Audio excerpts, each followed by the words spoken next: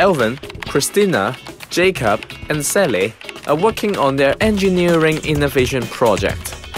They have such a good search tool and have lots of search results.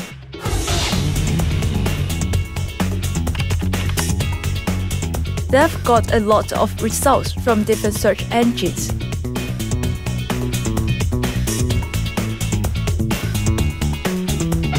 How can they decide what to look at first?